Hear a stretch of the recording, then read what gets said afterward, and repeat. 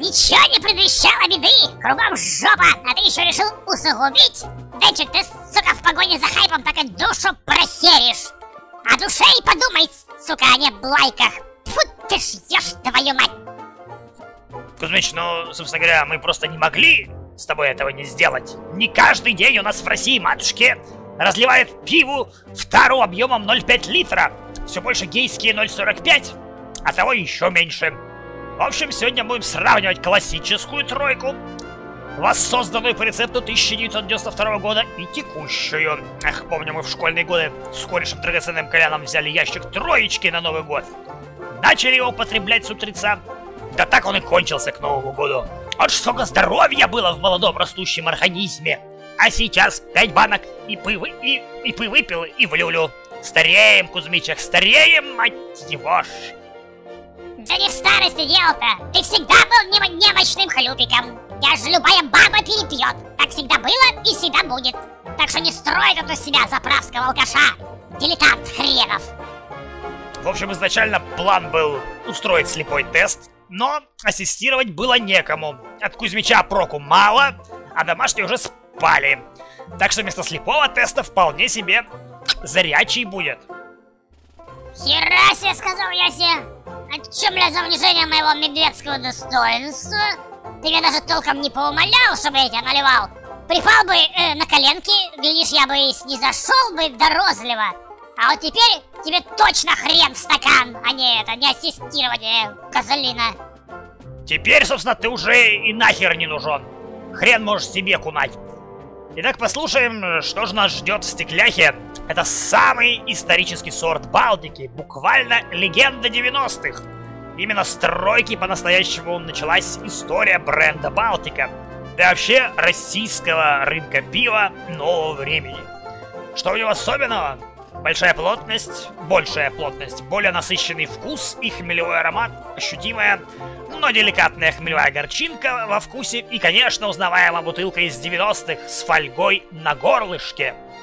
Что нас ждет в жестянке, даже читать страшно, ибо при слове «пилснер» меня аж от гомерического хохоту скрючивает так, что вся прихожу потом минуты через полторы только в общем, классический европейский пилснер, да-да, при приготовлении которого использованы не только горькие, но и ароматические сорта хмеля. Это единственное российское пиво, которое варится в Германии.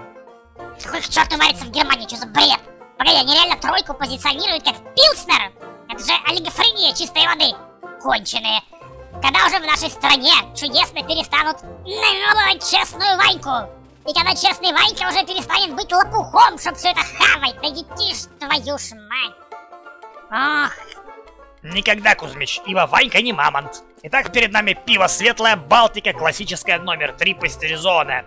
Цена 49,99 за стекло и 49,99 за жестянку. Даже удивляюсь таким ценам.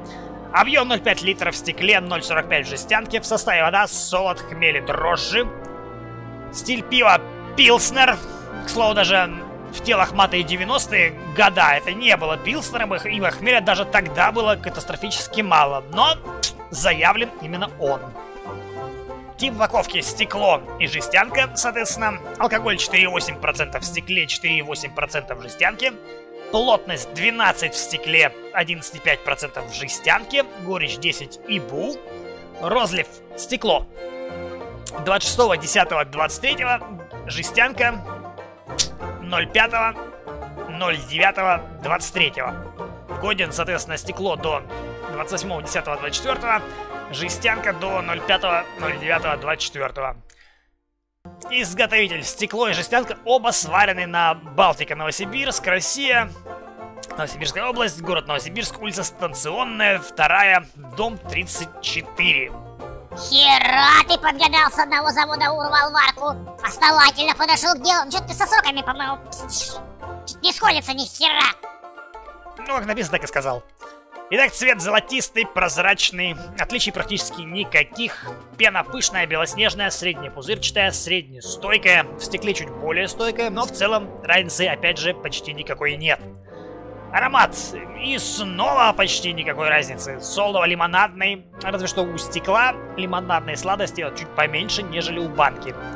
Тело легкое, у жестянки более липкое. Карбонизация умерена, разницы никакой. Вкус. В стекле легкий солодовый вкус, чуть сладости и пустоты, чуть кислинки. Вполне себе обычный лагерь, практически без косяков. Что касается жестянки, а вот здесь уже ни хрена не пиво, а лимонад. Намного слаще, чем стекло. Вкус сода конкретно уходит в лимонад. В послевкусии стекло вяжет рот, э, как после недозрелой хурмы, так как есть даже призрачный намек на хмель. В жестянке же ни единого намека на хмель нет. Рот не вяжет, как в возрожденном варианте. Остается тупо лимонадная сладость, и на этом все. Что касается оценки, стекло твердая тройка, а вот жестянка твердая двойка. Мораль! Собственно говоря, разница действительно есть. В плане аромата, цвета и визуала они совершенно идентичны, но вот э, вкус разительно отличается, даже в рамках одного завода. Если возрожденная Балтика это вполне себе обычный легкий лагерь, что приятно, почти без косяков, то современный вариант это какое-то лимонадное недоразумение, нежели пиво. Про Пилснер можно только поржать, ибо даже близко нет ни единого намека на заявленный стиль, ни в стекле, ни в банке.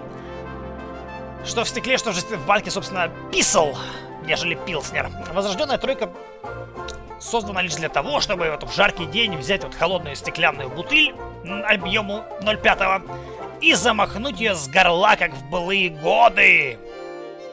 Когда за это еще не штрафовали на улицах. А современная версия годится... Разве что... Да хрен знает, для чего она вообще годится. Видеть ее в дежурной кружке совершенно не хочется и... Как бы, надеюсь, это был последний раз, когда мы брали тройку.